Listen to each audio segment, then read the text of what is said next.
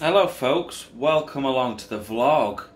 This is a little bit of a prequel to what is going to be a considerably long, rambly video. So, obviously, new lockdown, new project. This project is to build a control panel for our cask washer, and in the future we're going to be building a brand new cask washer as well.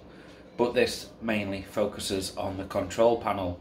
Now, the reason I'm doing this prequel to it all is because it's a 30 long, a 30 long, a 30 minute long video, and uh, unless you're technical and you want to get into the aspect of uh, circuit diagrams, even though they evolve massively from what I show you here, then maybe this video isn't for you, and perhaps you'll want to skip on to the next one. The next one will include much more of the build. And then right at the end, if I have time, we'll run over it all, we'll show you it working. And then with any luck, I'll be able to put a schematic of the actual functioning um, final article on our website, harrisonsbrewery.com, for you all to see. Anyway, there you are, you're pre-warned. This does go on a little bit, so uh, feel free to skip to the next video if you so wish. Well, here it is. Hello, ladies and gentlemen. Welcome along to the video. And uh, today, what we're going to be doing is putting together a control panel for our cask washer. So I'll do a few sketches and let you know what the crack is with this. So we've got this cask washer, okay, and uh, we use it, of course, to wash casks. So we basically have three tanks like this next to each other, or with spray balls in, like that. And what tends to happen is we bring casks into the brewery, we put them on the middle uh, tank, which is a rinse tank, and we turn the water on, and it washes all of the uh, hop debris, yeast, all that kind of jazz out of the tanks, away down the drain, and cleans them out. So we'll have to rinse all the casks that we've got, and then we put them to one side, ready for uh, a proper clean before we use them on a brew day. And then what will happen, we, we have this uh, caustic tank over here, and this has got an element in it, and we heat this up to about 65 degrees C in order to allow the caustic to work really quite at its most efficient on any uh, crap, crud, um, what's the correct term I'm looking for? Any biofilms, uh, any fatty deposits, any yeast kind of krausen rings inside the casks, all that kind of stuff. We want the hot caustic to do its to, to help us get rid of all that stuff, which is why we have an element in there. And in order to make sure that we have the correct liquid level above the element before we turn it on, we have a little crane's bell float valve in there, which actually helps to isolate the power supply via a contactor at the moment to the element. And uh, all of these, apart from the rinse tank at the moment, are powered by a pump. So we have like a pump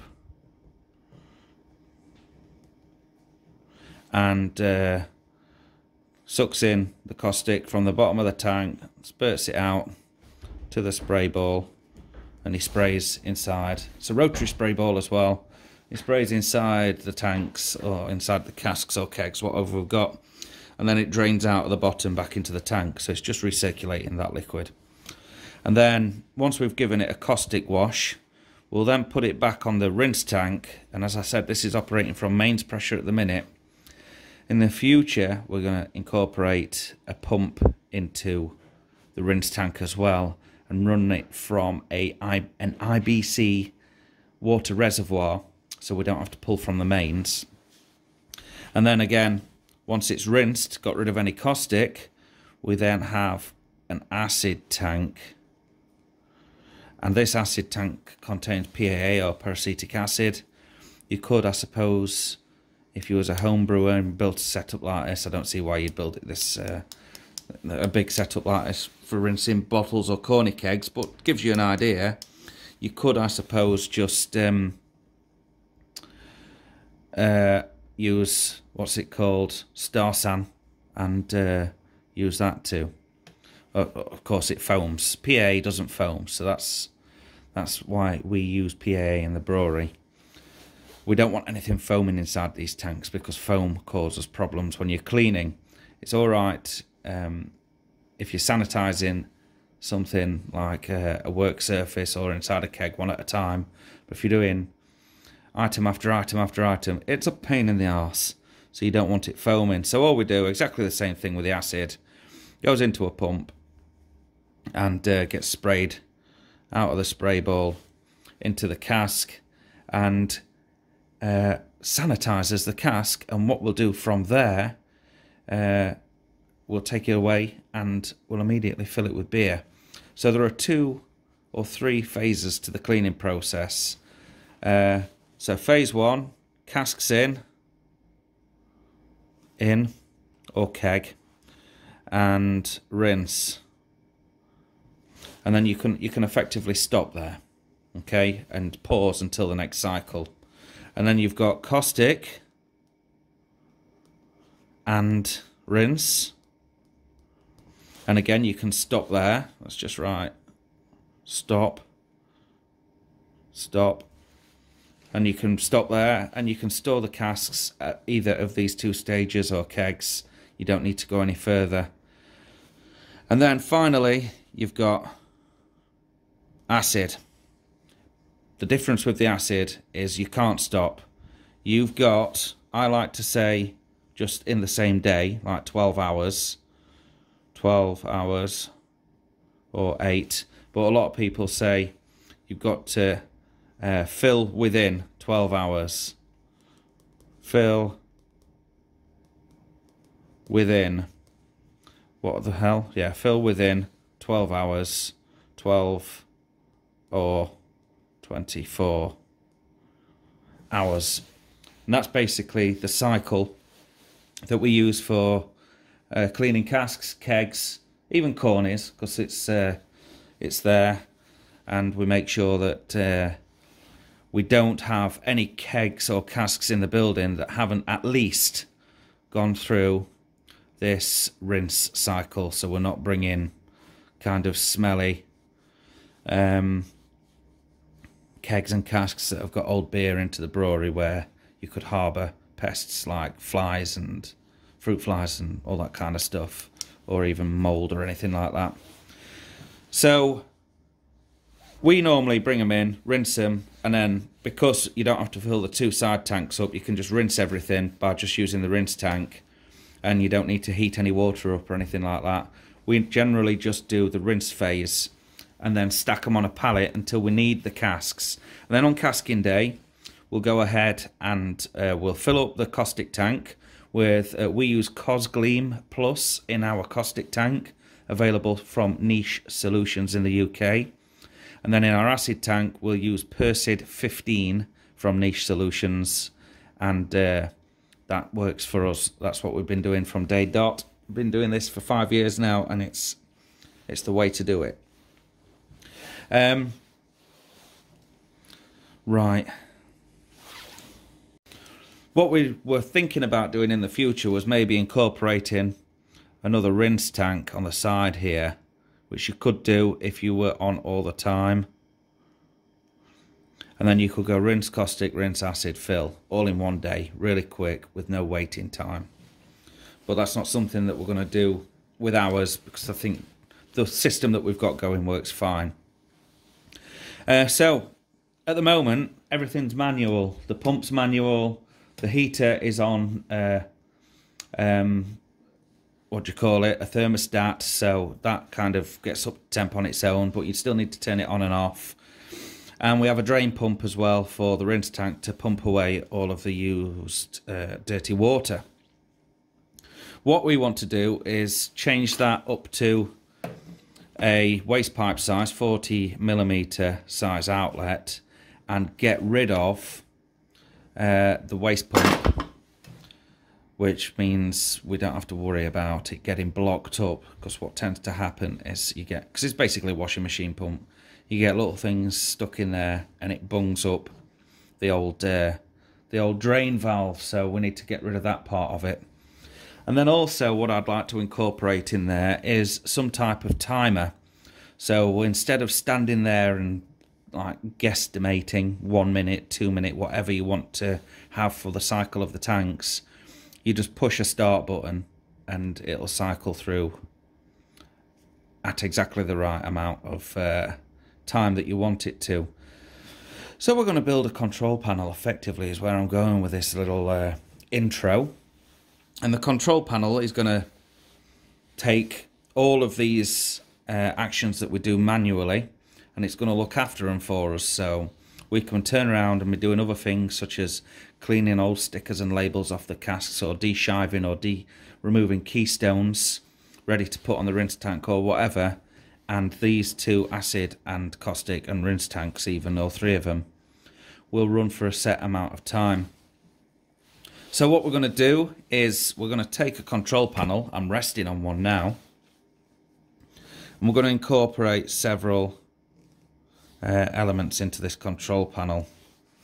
First one being a key on and off switch there. And then secondly, I'm not sure if this is going to be the layout. That key on and off switch will turn everything on, of course.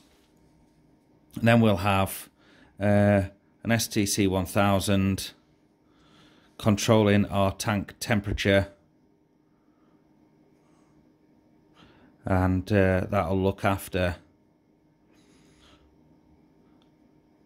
that'll look after the uh, caustic temp okay just like that and then on the side of that we're going to have another switch for, oh, I've done it again, for turning the element on and off. So it won't be on all the time. Of course, this is going to be protected with a float valve. And the way we're going to turn these on and off with an STC 1000 is we're just going to run 12 volt control through a 40 amp solid state relay to switch the element. And then underneath that, we're going to have timers. We'll have timers for all three tanks. And we'll run them for, let's say, 30 seconds. It's probably going to be more than that. But we'll say argument's sake 30 seconds. And then underneath these timers, we're going to have independent on off switches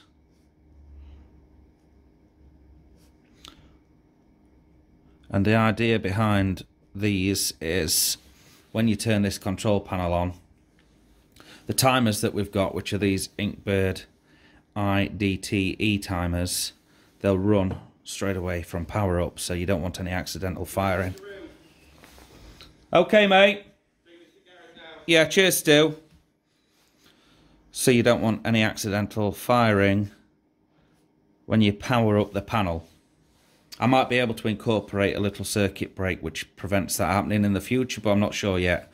I'm thinking about using an emergency stop button on the panel so you power it up, you go away, you start to fill your tanks up and everything, and then you come back and you turn on your uh, emergency stop button to allow power to go to the pumps.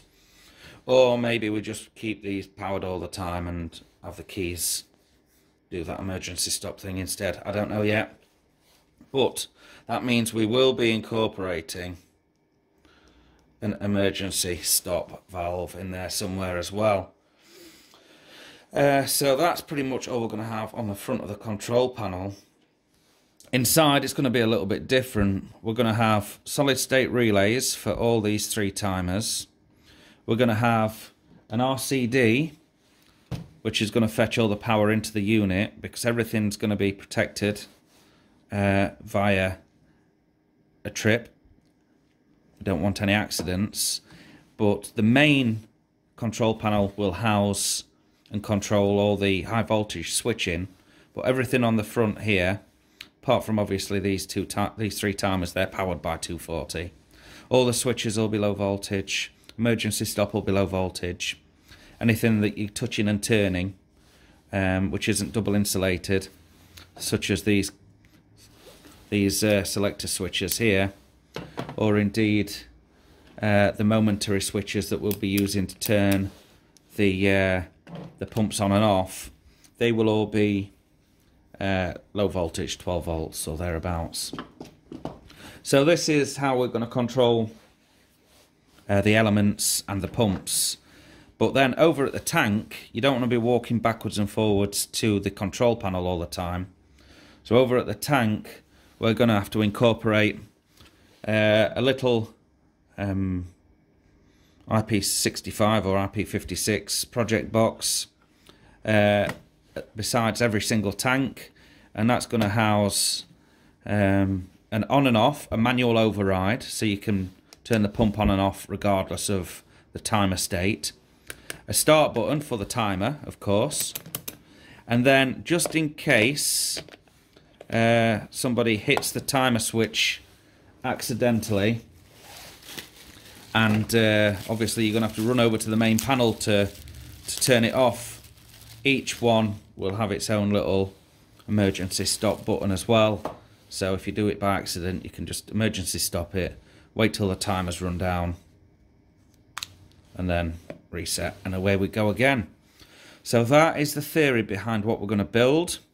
I hope you followed along with me. It's another one of those projects that uh, I'm literally making up as I go along. This is the first time I've drawn out any schematics. So all I'm going to do is dive straight into the electrics and see if we can't figure out how to control this whole thing. So basically what we're going to have here, I would imagine, on our control panel, is we're going to have power in I'll do this big Clive Styley, AC in. And the first thing it's going to hit is an RCD. And that RCD is going to look after uh, all the power and all the people working with it. And then of course this is just going to go down to a negative rail as well. So you need to have a negative connector on your RCD. Uh, and then from the RCD, uh, we may go through the key switch, or the key switch may control a contactor which switches the mains. But to simplify it here, we'll just put key SW. So obviously, if we switch, if we use that to switch a relay, then fair enough. If not, it's just the key switch turning on the mains, and the mains will run across and. Uh, well, I suppose first thing it's going to hit is um, a solid state relay for the heater.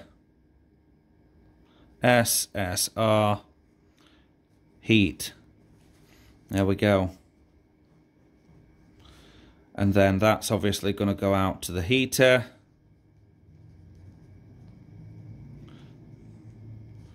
And then it's obviously going to come back again. Onto the neutral. Just like that. And then from the solid state uh, relay what's further down the line? Well we're going to have all the timers. Timers are going to be there as well. And these timers all need to power solid state relays. Timer SSRs and then those timer SSRs will power pumps and then obviously back to the negative rail again. So each one of these components, the SSR, the timers, the timer SSRs, are all going to have um, auxiliary power supply, uh, not auxiliary power, auxiliary control circuits as well. For instance, the heater SSR is going to have its um, let's say it's kicking we're feeding it with a 24 volt supply DC positive that's going to run through um, a contactor on an STC 1000, which we've got here, which we can put in live, neutral, positive, uh, SSR. Hold on a sec. Ah, interrupted by the Amazon delivery guy. So we've got the uh, solid state relay powered by the STC 1000, positive and negative. That's going to switch the mains for the heater there. And then what we can do to make sure that this is protected, we can break the positive or the negative and we can run that through a float switch which we'll have incorporated in the tank. So have I got one knocking around here? I did have some delivered recently, but I can't find it. Yeah, here we have it. A couple of magnetic float switches. Screw these into the side of the tank, tighten them up, and then when the liquid level rises, it connects the circuit, and because it's low voltage, you're not getting any sticking contacts in there or anything. So that's the contactor being controlled, or the solid state relay being controlled by an STC 1000 and a float switch. And then when that's uh, ready for temp, obviously we're going to have our TC thermocouple in the tank as well, but uh, that'll turn the heater on. And then the other kind of ancillary um, circuitry that we'll have with the timers is obviously they've got 24 volts there as well. Uh, sorry, 240 volts in there as well. Uh, and then these timers come with a built-in 12 volt output, which is extremely handy. So we'll be using that 12 volt, out, 12 volt output to control the SSR. Here we go again. So we can have a positive coming out and that can run through to our um, push button switch. No, that won't. It will run through our selector, selector switch, and then through the e-stop.